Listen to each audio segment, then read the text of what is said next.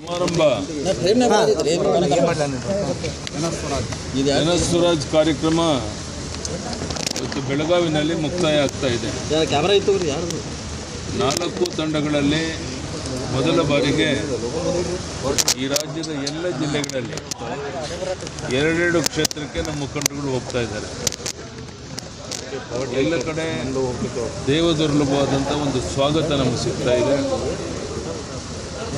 ಮಂಡ್ಯ ಎರಡು ಮೂರು ಜಿಲ್ಲೆಗಳಲ್ಲಿ ಸಹ ನಮಗೆ ಹಿನ್ನಡೆ ಇದ್ದರೂ ಸಹ ಅಲ್ಲೂ ಸಹ ನಾವು ಪ್ರಯತ್ನ ಮಾಡ್ತಾ ಇದ್ದೇವೆ. ನಮ್ಮ ಕೌಟ್ಗೆ ಮಟ್ಟವರು ಅತ್ಯಂತ ಪ್ರಾಮಾಣಿಕವಾಗಿ ಜನಪ್ರತಿನಿಧಿಯಾಗಿ ವಿಧಾನ ಪರಿಷತ್ತಲ್ಲಿ ಕೆಲಸ ಮಾಡಿರುವಂಥದ್ದು ಎಲ್ಲರ ಪ್ರೀತಿ, ವಿಶ್ವಾಸ, ಗೌರವಕ್ಕೆ ಪಾತ್ರರಾಗಿದ್ದಾರೆ.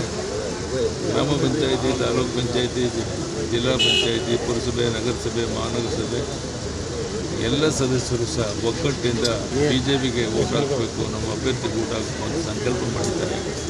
ಹೀಗಾಗಿ ಇಪ್ಪತ್ತು ಕ್ಷೇತ್ರದಲ್ಲಿ ಕನಿಷ್ಠ ಹದಿನೈದು ಕ್ಷೇತ್ರ ನೂರು ನೂರು ನಾವು. ಬಿಜೆಪಿ ಜನಸರೋಜ ಜಾತ್ರೆ ಅಲ್ಲ ಇದು ಜನ ಪರಪಾದ ಯಾತ್ರೆ ಅಂತ ಸಿದ್ದರಾಮಯ್ಯ ರಾಜ್ಯದಲ್ಲಿ ಮಳೆ ಆಗ್ತಾ ಇದೆ. ಆದ್ರೆ ಬಿಜೆಪಿ ಅವರು ಟೂರಿಂಗ್ ಟಾಕೀಸ್ ರೀತಿ ಜನ ಸ್ವರಾಜ್ ಯಾತ್ರೆ ಮಾಡ್ತಾ ಇದ್ದಾರೆ ಇದು ಜನ ಬರ್ಬಾದ್ ಯಾತ್ರೆ ಅಂತ ಸಿದ್ದರಾಮಯ್ಯನವರು ಹೇಳ್ತಾರೆ. ಜನರ ಬೆಂಬಲ ಸಿಗ್ತಾ ಇಲ್ಲ ಇತ್ತೀಚೆಗೆ ಅವರ ಹತೋಟಿ ತಪ್ಪಿ ಮಾತಾಡ್ತಾ ಇದ್ದಾರೆ. ನಾನು ಸಿದ್ದರಾಮಯ್ಯನವ್ರು ಕೇಳ್ತೇನೆ. ಇದುವರೆ ನಿಮ್ಮ ಯೋಗ್ಯತೆಗೆ, ನಿಮ್ಮ ಅಭ್ಯರ್ಥಿಗಳು ಯಾರು ಅಂತ ಕಾಂಗ್ರೆಸ್ನವರು ಡೆಲ್ಲಿನಲ್ಲಿ ಫೈನಲೈಸ್ ಮಾಡೋಕ್ಕಾಗಿಲ್ಲ.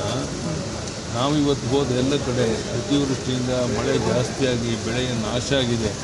ಅದರ ವರದಿಯನ್ನು ಎಲ್ಲ ಕಡೆ ತಗೊಳ್ತಾ ಇದ್ದೇವೆ. ಅದೆಲ್ಲವನ್ನು ಕೇಂದ್ರ ಸರ್ಕಾರಕ್ಕೆ, ರಾಜ್ಯ ಸರ್ಕಾರಕ್ಕೆ ಕೊಡೋದ್ರ ಮೂಲಕ ರೈತರಿಗೆ ಸಕಾಲಕ್ಕೆ ಕೇಂದ್ರದ ಟೀಮ್ ಬಂದು ಸರ್ವೆ ಮಾಡಿ ಸರಿಯಾದ ಪರಿಹಾರ ಕೊಡೋ ಕಡೆಯೂ ಗಮನವನ್ನು ಕೊಡ್ತಾ ಇದ್ದೇವೆ. ಈ ಕೆಲಸವನ್ನು ಜೊತೆಗೆ ಮಾಡ್ತಾ ಇದ್ದೇವೆ ನಿಮಗೆಲ್ಲ ಗೊತ್ತಿರುವಂಥ ಸಂಗತಿ ಜನ ಬೆಂಬಲ ಇಲ್ಲ ಅನ್ನೋದು ಗೊತ್ತಾದ ಮೇಲೆ ಸಿದ್ದರಾಮಯ್ಯನವರು ಮನ ಬಂದಂತೆ ಮಾತನಾಡ್ತಾರೆ.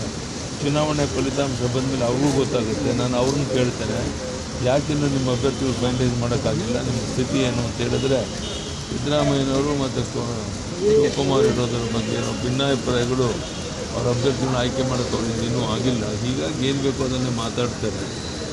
ಸೋಲಿನ ಭಯ ಕಾಡ್ತಾ ಇದೆ ಸರ್. ಸೋಲಿನ ಭಯ ಕಾಡ್ತಾ ಇದೆ. ಈಗ ಈಗಲೇ ಸೋಲಿನ ಭಯ ಕಾಡ್ತಾ ಇದೆ ಅಂತ. ಸೋಲಿನ ಭಯ ಕಾಡ್ತಾ ಇದೆ ಅಂತ ನಾನು ಹೇಳಿದ್ನಲ್ಲ ಈಗ ಇಪ್ಪತ್ತರಲ್ಲಿ ಹದಿನೈದು ಕ್ಷೇತ್ರ ಗೆದ್ದೇ ಗೆಲ್ತವೆ. ಇದು ಹಿಂದೆ ನಾನು ಏನು ಹೇಳಿದೆ ಅದರಂತೆ ಆಗಿದೆ. ಲೋಕಸಭೆನೂ ಸಹ ಇಪ್ಪತ್ತೈದು ಸೀಟ್ ಗೆದ್ದಾಗ ಅದು ಯಾರೂ ನಂಬಿರಲಿಲ್ಲ. ಈಗಲೂ ನಾವು ಹೇಳ್ತಾ ಇದ್ದೇನೆ ಭಾಳ ಸ್ಪಷ್ಟವಾಗಿ ಯಾರನ್ನು ತೃಪ್ತಿಪಡಿಸೋಕ್ಕೋಸ್ಕರ ಅಲ್ಲ. ವಾಸ್ತವಿಕ ಸ್ಥಿತಿ ಎಲ್ಲ ವರದಿಯಂತೆ ನಾವು ಕನಿಷ್ಠ ಹದಿನೈದು ಸೀಟ್ ಗೆದ್ದೇ ಗೆಲ್ತೇವೆ. ವಿಧಾನ ಪರಿಷತ್ತು ನಾವು ಬಹುಮತವನ್ನು ಸಾಬೀತು ಮಾಡ್ತೇವೆ. ಜೊತೆ ಜೊತೆಗೆ ನಮ್ಮ ರೈತರೇನು ಮಳೆಯಿಂದ ಬೆಳೆ ನಾಶ ಆಗಿದೆ. ಅವ್ರ ತಕ್ಷಣ ಪರಿಹಾರ ಕೊಡೋಕ್ಕೋಸ್ಕರ ಎಲ್ಲ ಜಿಲ್ಲಾಧಿಕಾರಿಗಳ ಸಭೆಯನ್ನು ಮುಖ್ಯಮಂತ್ರಿಗಳು ತಕ್ಷಣ ಪರಿಹಾರ ಕೊಡುತ್ತೆ. ಬೆಳಗಾವಿ ಜಿಲ್ಲೆಯಲ್ಲಿ ಎರಡೇ ಎರಡೇ ಎರಡೇ ಅಭ್ಯರ್ಥಿ ಕೊಡಬೇಕು ಅಂತ ಲಖನ್ ಜಾರಕಿಹೊಳಿ ಕೊಡ್ಬೇಕಂತ ರಮೇಶ್ ಜಾರಕಿಹೊಳಿ ಕೇಳ್ತಾರೆ ಬಿಜೆಪಿ ಎರಡನೇ ಅಭ್ಯರ್ಥಿ.